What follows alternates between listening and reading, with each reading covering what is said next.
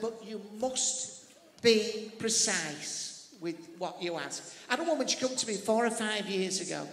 She said, Can spirit bring me a pop star to really knock me off my feet? Two days later, Hampstead High Street, George Michael in his car.